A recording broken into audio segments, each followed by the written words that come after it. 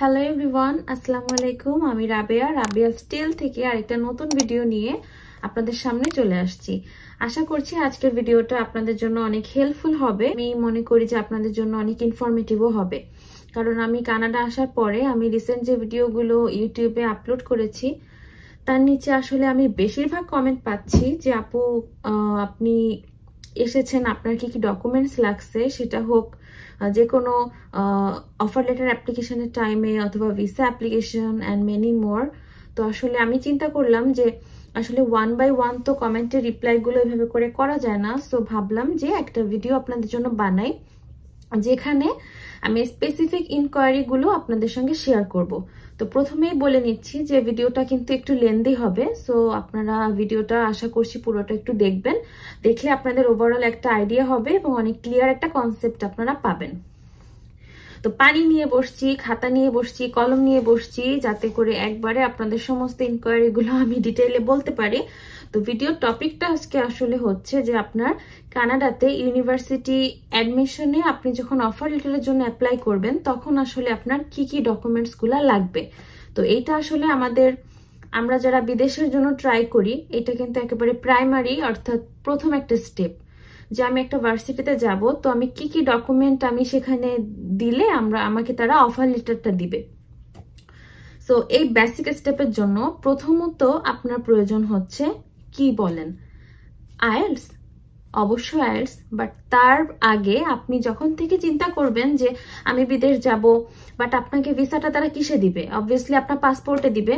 তো তার জন্য আপনার সবার প্রথমে দরকার হচ্ছে পাসপোর্ট তো পাসপোর্টটা আপনার, আপনি যখন যেদিন থেকে চিন্তা শুরু করবেন যে হ্যাঁ আমি বিদেশে পড়াশোনা করতে যাব অ্যান্ড আই এম কনফিডেন্ট আমি ফোকাসড তো সেদিন থেকে আপনারা যেটা করবেন সেটা হচ্ছে পাসপোর্টটা তৈরি করতে দিয়ে দিবেন। ফর এক্সাম্পল এখানে আমি আমার একটা এক্সপিরিয়েন্স শেয়ার করতে চাই। আমি হচ্ছে আপনার ইউনিভার্সিটি থেকে অফার লেটার পাওয়া কমপ্লিট আমার সমস্ত ডকুমেন্ট কমপ্লিট আমি তখন হচ্ছে আরও কিছু টাইপের আমার বাকি ছিল, তো সেগুলো আমি গোছাচ্ছিলাম। এর ভেতরে হঠাৎ করে আমি দেখি কি যে আমার পাসপোর্টে মাত্র মেবি সাত মাসের ভ্যালিড ছিল। তখন আমার কোর্সের ভ্যালিডিটি হচ্ছে দুই বছর।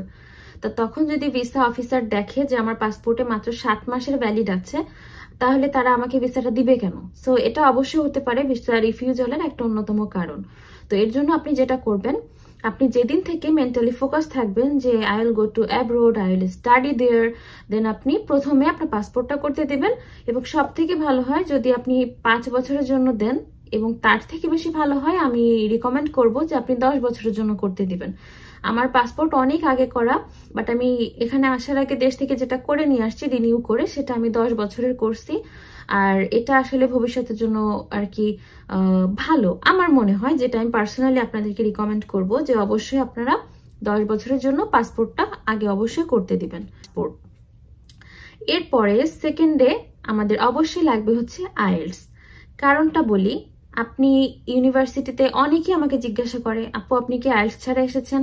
আপু, আমরা কি আইএলস ছাড়া আসতে পারব? বাট টু বি অনেস্ট আপনি যখন একটা ফরেন কান্ট্রিতে আসবেন পড়ার জন্য আইএলস ছাড়া তো আপনার আসলে কোনো অপশন নাই। কারণ এখানে আপনার কথা বলার একটা মিডিয়ামই হচ্ছে আপনার ইংলিশ সো আপনি ল্যাঙ্গুয়েজ আপনার বাংলা হোক, আপনার ল্যাঙ্গুয়েজ হিন্দি হোক, আপনি অ্যারাবিক হন, যেটাই হন, আপনি একটা ইংলিশ কান্ট্রিতে আসতে গেলে ইউ অবভিয়াসলি নিড আইএলস আপনার আইএলস লাগবে। আইএলস ছাড়া সম্ভব না। সো আপনার সেকেন্ডলি আপনাকে আইএলসটা ফোকাস করতে হবে। আর অবশ্যই আমি বলব ব্যাচেলারে যারা আসবেন, তাদের লাগবে হচ্ছে ওভারঅল সিক্স ইচ ব্যান্ডে কোনো আপনার স্পেসিফিক কোনো রিকোয়ারমেন্ট নাই বাট ইচ ব্যান্ডে ফাইভ পয়েন্ট ফাইভ পেলেও হয় ওভারঅল সিক্স লাগবে। আমি আবার বলে দিচ্ছি যারা ব্যাচেলার আর ফর মাস্টার্স লাইক মি তাদের লাগবে হচ্ছে overall six point five no band less than six তার মানে আপনার প্রত্যেকটা ব্যান্ডে সিক্স থাকতে হবে। আর স্পিকিংয়ে আপনি যত ভালো করতে পারবেন অবভিয়াসলি এটা আপনার প্লাস পয়েন্ট যেমন আমি স্পিকিংয়ে আলহামদুলিল্লাহ অনেক ভালো করেছিলাম, আমি স্পিকিংয়ে এইট পেয়েছিলাম, যেটা কিন্তু আসলে ওভারঅল হিসেবে আমার নিজের কাছে অনেক বেশি ভালো লাগছে। সো আপনার সেকেন্ড ডকুমেন্টে লাগবে হচ্ছে আপনার আইএলসের সার্টিফিকেট এবার এখানে আমি একটু ক্লিয়ার করি, অনেক মানে কোয়েশ্চেন থাকে যে, আপু মনে করেন সাপোজ এখন হচ্ছে দুই হাজার জানুয়ারি তো আমি কানাডাতে আসছি হচ্ছে আপনার দুই হাজার বাইশের ডিসেম্বরে। তো আপনারা এখন যারা আসবেন, তারা হয়তো অনেকে সেপ্টেম্বরে প্রিপারেশন নিচ্ছেন লাইক অনেকে হচ্ছে দুই হাজার চব্বিশে জানুয়ারি প্রিপারেশন নিচ্ছেন। তো আপনারা যারা দুই হাজার চব্বিশে জানুয়ারি, অর্থাৎ উইন্টার সেশনের জন্য প্রিপারেশনটা নিচ্ছেন, তারা হচ্ছে আপনার মে মাসের মধ্যে আইলসটা কমপ্লিট করে ফেলবেন। আর যারা সেপ্টেম্বরে আসতে চাচ্ছেন, দুই হাজার তেইশের obviously you guys need to complete this within February ফেব্রুয়ারির মধ্যে যদি করে ফেলতে পারেন ইটস বেটার বাট এর পরে করলে সেটা আপনাদের জন্য একটা মানে ডু অ্যান্ড ডাই সিচুয়েশন হবে, যে ওর তখন একটা তাড়াহুড়ো থাকবে ডকুমেন্ট রেডি করার একটা ব্যাপার থাকে ভিসা অ্যাপ্লিকেশন করার একটা ব্যাপার থাকে। সো ওইখানে গিয়ে আপনি কিন্তু একটা মানে প্যাচাই যাবেন। সো যারা দুই হাজার চব্বিশ, তারা অবশ্যই মের মধ্যে কমপ্লিট করবেন, যারা দুই সেপ্টেম্বর, তারা অবশ্যই ফেব্রুয়ারির মধ্যে কমপ্লিট করবেন, ঠিক আছে? তো সেকেন্ড হচ্ছে আইএলস এর ডকুমেন্টটা লাগবে। আর ভিডিওটা একটু মনোযোগ দিয়ে দেখেন, কারণ এর মধ্যে আমি অনেক মানে অ্যান্সারগুলো দিব, যেগুলো আসলে আপনারা আমাকে কমেন্ট সেকশনে বলেন সো প্লিজ একটু মনোযোগ দিয়ে দেখবেন। আর হচ্ছে, কথা বলতে বলতে হাঁপাই যাচ্ছি। আর এখন হচ্ছে তিন নম্বর ডকুমেন্ট যেটা হচ্ছে আপনার রিকমেন্ডেশন লেটার এটা আমি বলছি হচ্ছে, যারা মাস্টার্সে আসবেন স্পেশালি তাদের জন্য, কারণ আমরা রিকমেন্ডেশন লেটার আমার টাইমে লেগেছিল হচ্ছে দুইটা। আর অবভিয়াসলি দুইটাই লাগে, এর বেশি আর কি এখানে দেয়া যায় না। তো আপনি আপনার ভার্সিটির আপনি যে কোনো, আপনার প্রফেসর থেকে অথবা যে কোনো আপনি টিচার থেকে আপনার পরিচিত কেউ যদি লাইক পাবলিক ভার্সিটিতে থাকে, তাদের থেকেও আপনি নিতে পারেন। এবার আসি চার নাম্বার সেটা হচ্ছে এম এমওয়াই অর্থাৎ মিডিয়াম অফ ইনস্ট্রাকশন এটা কিন্তু টোটালি আপনার একটা অপশনাল ডকুমেন্ট অনেকে যারা আমাকে প্রশ্ন করেন যে, আপু, আমরা কি আপনার আইলস দিয়ে ছাড়া অন্য কীভাবে করে আসতে পারব? তো আসলে কোভিড এর পরে একটা টাইমে আপনার আইআরসিসি একটু মানে রেস্ট্রিকশন একটু কমাই দিছিল। সেটা হচ্ছে ডুয়োলিঙ্গ দিয়েও মেবি আপনার এক থেকে দুইজনের ভিসা হয়েছিল আর ওরা হচ্ছে কি এমওআই অর্থাৎ মিডিয়াম অফ ইনস্ট্রাকশন যেটাকে বলে, যেটা আপনি মনে করেন ব্যাচেলারে আপনি ইংলিশে পড়ছেন, তো সেইটাকে ওই ইংলিশে পড়ার যে স্ট্রাকচার ওইটাকে বলে হচ্ছে মিডিয়াম অফ ইনস্ট্রাকশন তো অনেক জায়গায় আসলে এমওয়াই দিয়ে আপনাকে অফার লেটার দিবে but most of the times to be honest এটা আপনাকে দেওয়া হয় না। আপনার অবশ্যই অ্যাডসটা শো করতে হয়। আর এমওয়াইটা এখন অনেক ভার্সিটিও হয়তো বা থাকতে পারে অ্যাকসেপ্ট করতে পারে। যেমন আমার যে ভার্সিটি এরা এমওয়াই এর কোনো অপশন ছিল না। আমার হচ্ছে আপনার নিউ ব্রান্সউইকে ক্র্যান্ডেল ইউনিভার্সিটি তো ওরা হচ্ছে আইলস ছাড়া ওরা অন্য কিছু অ্যাকসেপ্ট করে না। So I only can tell about this but I don't have any idea about the universities of other provinces so আপনারা আসলে একটু গুগল করবেন যে আপনারা যে ভার্সিটিতে অ্যাপ্লাই করতে চাচ্ছেন, ওখানে ওরা আপনার অফার লেটার কিং অফার মানে অফার লেটার দেওয়ার ক্ষেত্রে ওরা আইলস এর পরিবর্তে এমওয়াইটাকে প্রিফার করে কিনা। তো, চার নম্বর ডকুমেন্টটা শেষ করে ফেললাম। এখন যাব পাঁচ নাম্বারে তো পাঁচ নাম্বারটা হচ্ছে এলও আই অর্থাৎ লেটার অফ ইন্টেন্ট যেটা আপনার লিখতে হয় হচ্ছে ইউনিভার্সিটিকে অর্থাৎ ভার্সিটি আপনাকে জিজ্ঞাসা করে যে, তুমি যে সাপোজ আমার ভার্সিটিতে আমি আসছি মাস্টার্স অফ ম্যানেজমেন্টে তো আমার ভার্সিটিতে আমার লিখতে হয়েছিল এলওআই এটাকে আবার অনেকে এসওপিও বলে, অর্থাৎ স্টেটমেন্ট অফ পারপোজ যে আপনি কোন পারপোজে আপনি এখানে আসতে চাচ্ছেন। তো এটা আসলে ভিসা অফিসের কেনা এটা আপনার লিখতে হয় হচ্ছে আপনার ইউনিভার্সিটিকে তো এটার ভেতরে থাকে হচ্ছে আপনার আপনার পার্সোনাল ডিটেলস আপনার ফ্যামিলি প্রিসাইজ আপনার এডুকেশনাল ব্যাকগ্রাউন্ড তারপরে আপনি কেন এই সাবজেক্টটা পড়তে চাচ্ছেন how this subject can help you in future তারপরে থাকতে পারে, মনে করেন, আপনি দেশে কেন ফিরে যাবেন এটা পড়ার পরে, এই সাবজেক্টটা নিয়ে পড়ে আপনার দেশে কি স্কোপ আপনার তৈরি হতে পারে ফর এমপ্লয়মেন্ট সো এই ধরনের জিনিসগুলা থাকে, এটার মধ্যে, এটা আপনার ইউনিভার্সিটি যদি অ্যাকসেপ্ট করে, আপনি এটা যত সুন্দর করে গোছায় লিখতে পারবেন, আপনার অফার লেটারটা পাওয়ার চান্সটা কিন্তু ততটা বাড়ে। লিখতে পারেন if you guys need any help related SOP আর আপনার মনে করেন এই এলওআই সেগুলা কিন্তু আমি হেল্প করতে পারি এবং অবশ্যই এটা কিন্তু একটা পেড সার্ভিস হবে। আমাকে কিন্তু বলতে পারবে না যে আপু, আপনি আমাকে লিখে দেন। কারণ এটা আমার একটা পার্ট টাইম প্রফেশন যেটাকে আমি পার্ট টাইম হিসাবে করি। সো অবভিয়াসলি এটা পেড সার্ভিস তো আপনারা আমার পেজে আপনারা আমাকে মেসেজ করতে পারেন রাবিয়া স্টেলে ওখানে আমি অবশ্যই আপনাদের সঙ্গে রিপ্লাই করার চেষ্টা করব। তো এটা গেল। এবার হচ্ছে লাগবে, আমরা চলে আসছি ছয় নম্বর ডকুমেন্টে যেটা হচ্ছে আপনার অল এড একাডেমিক ডকুমেন্টস অর্থাৎ আপনার এসএসসি ইন্টার ব্যাচেলারের মার্কশিট সার্টিফিকেট সো এই সমস্তগুলো মিলে হচ্ছে অল একাডেমিক ডকুমেন্ট যেগুলো আপনাকে সাবমিট করতে হবে to university for offer letter আর এরপরে সবচেয়ে লাস্টের যেটা, সেটা হচ্ছে রেজিউমি অর্থাৎ আপনার সিভি এবং রেজিউমির মধ্যে কিন্তু একটু পার্থক্য আছে সো নট সিভি এটা হচ্ছে রেজিউমি আপনার অল ওভার যে জিনিসগুলো সেগুলোর একটা মানে খুব সংক্ষেপে গোছানো ভাবে আপনি সুন্দর একটা প্রিসাইজ করে আপনি লিখে দিবেন আপনার রেজিউমিটা ওটার মধ্যে থাকতে পারে আপনার পার্সোনাল ডিটেলস আপনার একাডেমিক ডিটেলস আপনার হবিজ আপনার ইন্টারেস্ট আপনার এমপ্লয়মেন্টের যে ডিটেলস তারপরে হিস্ট্রি আপনার আপনি কি কি কাজগুলো করতে পছন্দ করেন? আপনি যদি কোনো একটা কোম্পানিতে আগে থেকে থাকেন, তো সেখানে আপনি কি কি রেসপন্সিবিলিটিস আপনি পালন করেছেন? So this can be also added in resume so এগুলো আপনি লিখতে পারেন। তো এই সাতটা ডকুমেন্ট কিন্তু আমার অবশ্যই লাগবে আপনার ভার্সিটি অফার লেটারের জন্য। তো আপনি যত সুন্দর করে এই ডকুমেন্টগুলো আপনি রেডি করবেন, তো ততই আপনার পসিবিলিটিস হবে যে ভার্সিটি আপনাকে অফার লেটার প্রোভাইড করবে। কারণ আমি আসলে আমার লাইফ থেকে যেটা দেখলাম, সেটা হচ্ছে আমি, আলহামদুলিল্লাহ, কানাডা আসার আগে যতগুলো ভার্সিটিতে আমি অ্যাপ্লাই করেছি, আমি কিন্তু সবগুলো থেকে অফার লেটার পেয়েছি।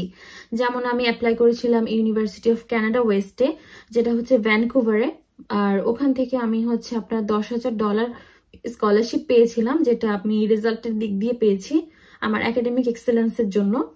আর অ্যাপ্লাই করেছিলাম হচ্ছে আমি টরন্টোতে টরন্টোর ট্রেন্ট ইউনিভার্সিটি থেকেও আমি পেয়েছিলাম। ওখান থেকে মেবি আমি ছয় হাজার ডলার স্কলারশিপ পেয়েছি, যেটাও আমার ছিল একাডেমিক এক্সেলেন্সে এখানে আমি কেন আসছি, এই প্রভিন্সটা আমি কেন সিলেক্ট করেছি অ্যান্ড ওয়াই দিস ইউনিভার্সিটি এটা নিয়ে আমি অন্য একটা ভিডিও বানাবো, যেটাতে আমি কেন এই প্রভিন্সে এসেছি, সেটা আমি আপনাদের সঙ্গে আমি ডিটেলস শেয়ার করব। আপনাদের সেটা জানলে হয়তো বা আমি চাই যে আমি যেখানে আছি, এখানে একটা বাঙালিরা আসুক আমি তাদের সঙ্গে পরিচিত যেন হতে পারি, তারা যেন আমার সিটিটায় আসে। এখানে যেন সুন্দর একটা কমিউনিটি হয়। So this is obviously one of my desire আর কি, যেটা আমি এক কথায় আপনাদের সঙ্গে বলতে পারি। তো মোট কথা এটাই, আমি এটা নিয়ে ডিটেলস ভিডিও বানাবো। আর আপনাদের যত ইনকোয়ারিজ আছে, যেমন আমার এই পড়াশোনা নিয়ে ডকুমেন্টস নিয়ে, আপনারা কাইন্ডলি আমাকে কমেন্ট সেকশনে জানাবেন। তো, ওইখান থেকে কমেন্টগুলো পড়ে আমি আইডিয়া নিয়ে আপনাদের জন্য আরও অনেক ভিডিও বানাতে পারব। আর ইনশাল্লাহ সাবস্ক্রাইবার যদি পঞ্চাশ হাজার হয়, তাহলে আপনাদের জন্য একটা কোশ্চেন আনসারের ভিডিও আমি করব। আপনাদের মনে আমাকে নিয়ে অনেক প্রশ্ন, আর আমি আলহামদুলিল্লাহ যে আপনারা আমাকে ভালোবাসেন, ভালোবেসে ভিডিওগুলো দেখেন এই জন্যই আসলে আমাকে নিয়ে আপনাদের মনে কিউরিয়াসিটি হয়। আপনারা কোশ্চেনগুলো করেন সো আই এম হাম্বলড আপনাদের প্রতি আমার অনেক অনেক ভালোবাসা। আর আমি সত্যি চাই যে আমার ভাইয়ারা, আপুরা যারা ট্রাই করছেন কানাডা আসার জন্য, যারা অনেক পরিশ্রম করছেন, একটু হেল্প চান বাট আসলে কি বাইরের লাইফটা অনেক ব্যস্ততা, অনেক ব্যস্ততম একটা লাইফ এখানে বাইরে থেকে এসে আসলে বাসায় খাবার থাকে না, যে এসেই খেয়ে নেব, রান্না করে খাওয়া লাগে, অনেক কাজ থাকে, সেগুলো করা লাগে। তো সব মিলিয়ে হয়তো অনেকে কমেন্টে রিপ্লাই করতে পারি না মেসেজের মানে পেজের মেসেজগুলো রিপ্লাই করতে পারি না বাট তাও আই ট্রাই আমি চেষ্টা করি। তো যাই হোক, আসলে এই হচ্ছে ডকুমেন্ট তো এর ভেতরে আমি আপনাদেরকে রিকোয়েস্ট করব স্পেশালি আইএলস এর ক্ষেত্রে, যে দেখেন, আমি এখানে আসার পরে যেটা দেখতেছি, সেটা হচ্ছে এখানে আপনি দুই শ্রেণির মানুষ বেশি পাবেন স্পেশালি দুই দেশের।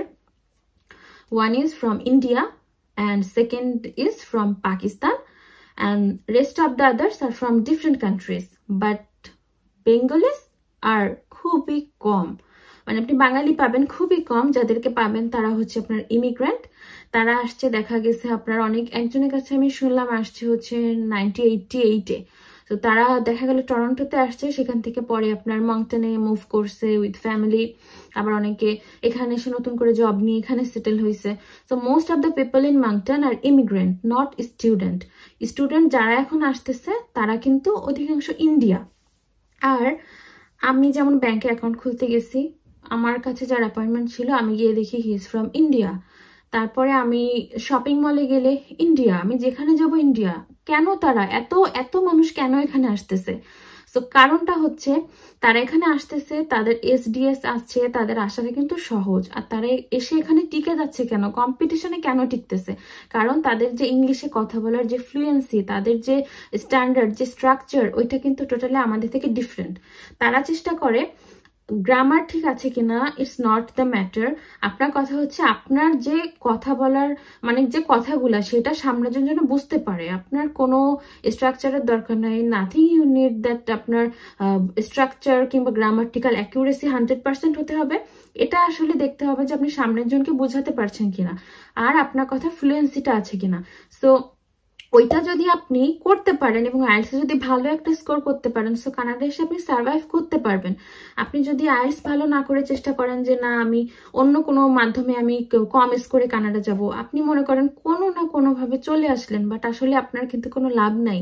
কারণ ইন্ডিয়ানরা ওদের যে ল্যাঙ্গুয়েজ ওইটার পাশে তারা কিন্তু ইংলিশটা ওদের পড়াশোনার কিন্তু অন্যরকম একটা মানে মাধ্যম। ওরা কিন্তু ইংলিশ মিডিয়ামে কিন্তু অনেক পড়াশোনা করে। ইভেন ওদের দেশে দেখবেন এই যে সামথিং কলকাতা বাদে আপনি মুম্বাই টুম্বাই এদিকে তো আপনার সমস্ত ইংলিশেই কথা বলে অধিকাংশ। সো এই জন্য এখানে কিন্তু ওরা আমাদের থেকে কম্পিটিশনে অনেক বেশি আগায় আছে যেখানে আমরা বাঙালিরা অনেক পিছিয়ে আছি। আমার ক্লাসে আমার মেটসগুলা আর মোস্টলি ফ্রম ইন্ডিয়া তো ওরা অনেক হেল্পফুল অনেক সুন্দর কথাবার্তা বলে। তো আমি আসলে চেষ্টা করি যে ইংলিশটাকে আরও ভালোভাবে চর্চা করার। তো এই জন্য আপনাদেরকে এতগুলো কথা কেন খরচ করলাম? আয়ার্সটাতে একটু মনোযোগ দেন। আপনারা স্পিকিং প্র্যাকটিস করেন। আমার দেখবেন চ্যানেলে স্পিকিং এর ভিডিও দেওয়া আছে। সো ভিডিওটা আপনারা যদি দেখেন, কীভাবে স্পিকিং পরীক্ষায় ভালো করা যায়, আপনারা ওটা থেকে মানে একটু হলেও আইডিয়া পাবেন। আর আপনাদেরকে আমি লাস্টে আর একটা সফট রিমাইন্ডার দিয়ে দিই যে আপনার কি কি ডকুমেন্টগুলো লাগবে। আপনারা একটু মনোযোগ দিয়ে একটু শুনেন সেটা হচ্ছে প্রথমে আপনার লাগবে পাসপোর্ট, আর তারপরে লাগবে হচ্ছে আপনার আইএলস, তারপরে লাগবে দুইটা রিকমেন্ডেশন লেটার, তারপরে লাগবে হচ্ছে একটা এমওআই, তারপরে লাগবে হচ্ছে লেটার অফ ইন্টেন্ট, অর্থাৎ এলওআই, তারপরে হচ্ছে আপনার এসএসসি, ইন্টার, ব্যাচেলারের সব একাডেমিক ডকুমেন্ট, তারপরে লাগবে হচ্ছে রেজিউমি। সো, টোটালি সাতটা ডকুমেন্ট হচ্ছে আপনার ইউনিভার্সিটি অ্যাডমিশনের জন্য প্রয়োজন।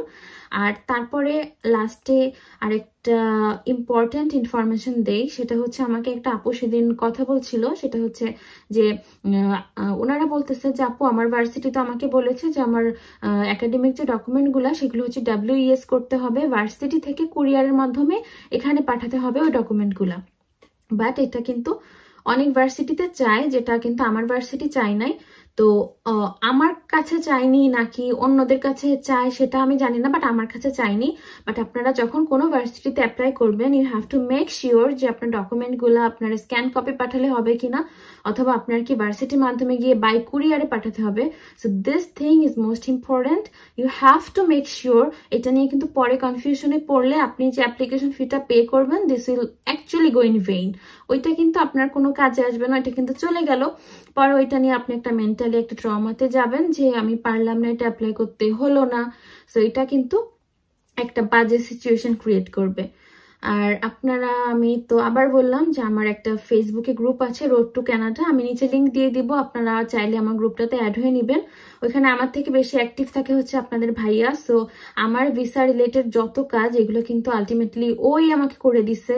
মানে আমার সমস্ত পেপার্স গোছানো থেকে সব কিছু he is the only one who help me আমি জাস্ট জানি না, আমি শুধু আমার এসওপি গুলা লিখছি, আমার বাকি যে মানে হ্যান্ডমেড যে কাজ কাম সেগুলো আমি করছি, বাকি সব ওই করে দিছে। আর বাবা মা তো আসলে আল্লাহর পরে স্পন্সার তারা তো আছেই। এই আর কি। আর আমার ইউটিউব চ্যানেলটাতে সাবস্ক্রাইব করে দিয়েন, আমার ফেসবুকে পেজটাতে একটা লাইক করে দিয়েন। আর আপনাদের যদি ভালো লাগে ইনভাইট করতে পারেন ফ্রেন্ডসদেরকে যাদের আসলে এই ধরনের ইনফরমেশন দরকার। And I obviously believe that you guys will literally help me to grow কারণ আপনারা আমাকে অনেক ভালোবাসেন, আমি জানি। আর আমার ভিডিওগুলো কেমন লাগে আমাকে কিন্তু কমেন্ট বক্সে জানাবেন। আর আজকের ভিডিওটা কেমন লাগল সেটাও জানাবেন। নতুন কি জানতে চান অবশ্যই কমেন্ট করবেন। ইনশাল্লাহ সেগুলো নিয়ে আরও ভিডিও বানানো শুরু করব। কারণ এখন কিছুদিন ফ্রি আছি। আপনাদের জন্য হয়তো বা পারব ভিডিও করতে। আর এই তো সব মিলায়। আর সবাই ভালো থাকবেন। নিজের দিকে খেয়াল রাখবেন। যারা বিদেশে আসতে চাচ্ছেন, আপনাদেরকে কিন্তু মেন্টালি খুবই স্ট্রং হতে হবে মোটিভেটেড হতে হবে। আর এটা চিন্তা করতে হবে যে আমি এখানে আসব ইনশাল্লাহ কানাডায় এসে একদিন আমিও পড়াশোনা করব, আমরা গেট টুগেদার করব, আমরা দেখা করব। সব মেলায় খুব সুন্দর একটা এক্সপিরিয়েন্স হবে ইনশাল্লাহ তো আপনাদেরকে আমি চাই আমার ভাইয়ারা, আপুরা বাংলাদেশ থেকে যারা এখনও পর্যন্ত চেষ্টা করে যাচ্ছেন কানাডায় আসার, আল্লাহ তাদের সবার ইচ্ছা পূরণ করুক। আপনারা সবাই যাতে আসতে পারেন। তো আজকের মতো এখানেই শেষ করছি। পরবর্তীতে নতুন কোনো ভিডিওতে ইনশাল্লাহ দেখা হবে আপনাদের সঙ্গে। সবাই ভালো থাকবেন। আল্লাহ হাফেজ।